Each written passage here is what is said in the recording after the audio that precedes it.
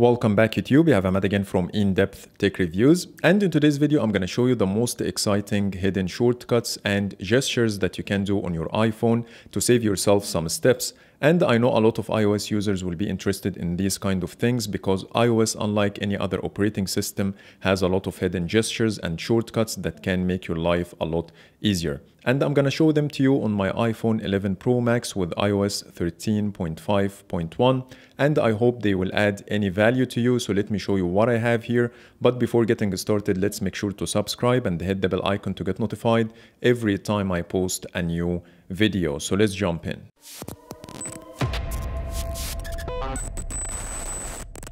Now let's start with the clock app. When you open the clock app and then go to timer, here you have the hours, minutes, and seconds as you would expect. And here you have another menu called when timer ends. And when you tap on it, you will get a, a, long list of sounds to choose from. And at the bottom, you have something called stop playing. When you tap on it and then tap on set and then start your timer, if you have any media playing on the phone, it will stop automatically when the timer ends.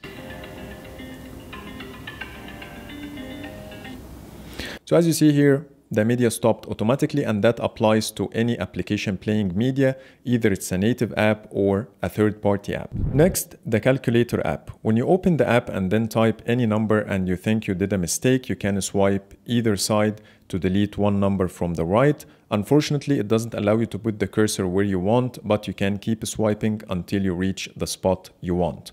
And if you did any kind of calculation like this one, for example, you can uh, copy the results from the home screen by tapping and holding on the calculator icon and then tap on copy last result and then you can paste it anywhere. Next, the Photos app. When you are in the gallery and you want to go to the very beginning, you can tap on this area at the top and it will take you to the very beginning of your gallery. And if you want to go back to the bottom, you can tap on the photos icon.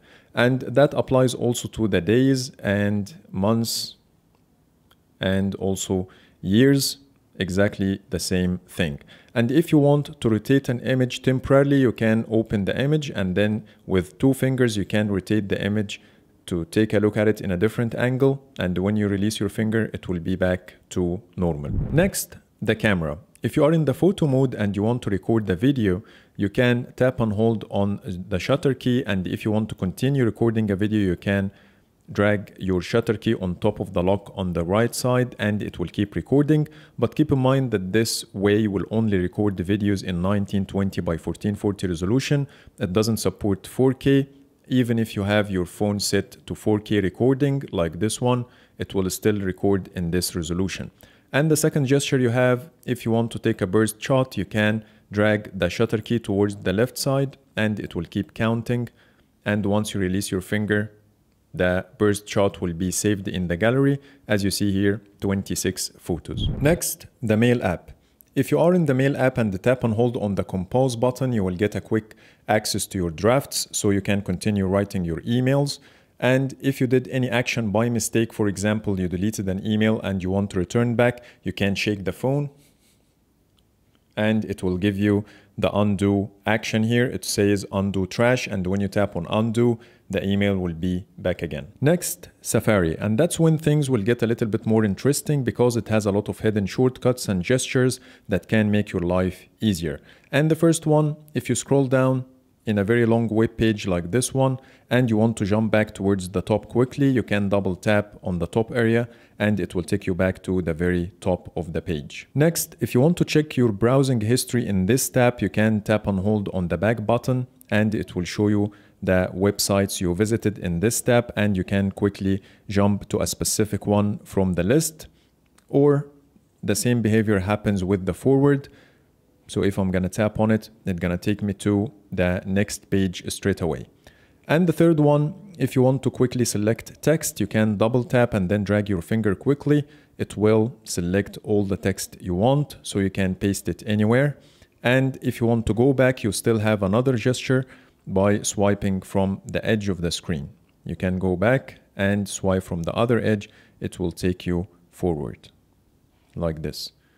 Here's forward and here is backward. Next, if you tap and hold on the taps icon, you will have quick actions here like close all 19 tabs, close this tab or create a new private tab or just a normal tab or cancel. And when you tap and hold on bookmarks icon, you have here also the ability to add bookmark, add bookmarks for all the 19 tabs you have open, or add to reading list to get back to it later. And again, you can cancel. And if you want to request the desktop website for this page, you can tap on the little icon here in the address bar and then tap on request desktop website. And here you go, you have the desktop version. And if you want to return back, you will do the same thing, but request mobile website and it will be back to the mobile version. Next, if you want to find text in the page that you are currently on, you can tap on the address bar and then delete everything and then type the word you want to search for. So in this case, I'm going to type the word Android. And when I scroll down, I will see here on this page, and it says here find Android. And when I tap on find Android, it will take me straight away to the matches and I can jump between them. And if you want to quickly copy a URL, you, all you need to do is to tap and hold on the address bar and then you will get the option to copy. Or if you already have a link uh, copied to your clipboard, you can tap on paste and go. It will copy it and go to the website.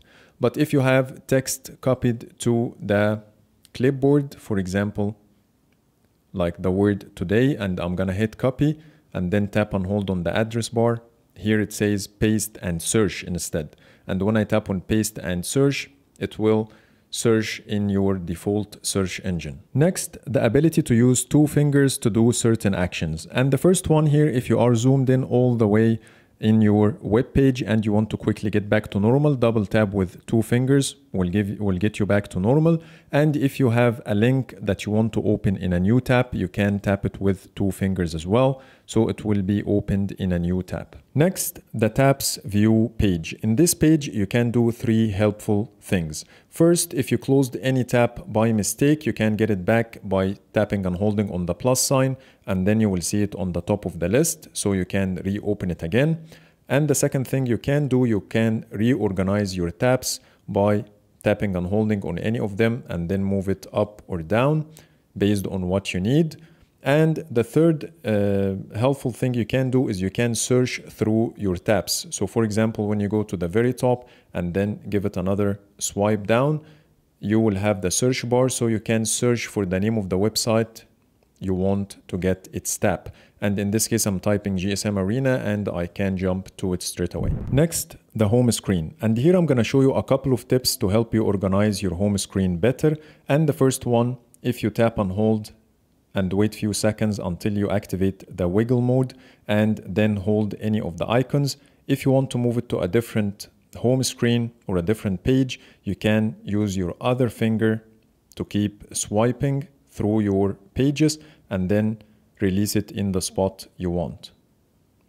So again here, I'm holding the icon and then I'm swiping with the other finger. And the other thing you can do if you want to move more than one icon at the same time, you can hold any of them and then tap on the other icons and they will be moved in the same order you tapped on them. So if I'm gonna release them here, all the four icons will be organized the same way I tapped on them. And finally, if you have a folder with apps and these apps have notifications pending, you can tap and hold on the folder and then you can quickly jump to the notifications straight away without the need to open the folder first and then tap on the application and then open the notifications. So that's pretty much it. Those are the most exciting hidden shortcuts and gestures and I managed to get my hands on in my opinion. So please let me know in the comments what do you think and let me know also if you have any more hidden gestures that I missed in this video so I can include them in my future videos. So thank you so much for watching. I hope you like my video and if you do please hit the thumbs up and subscribe for more videos. Thank you for watching.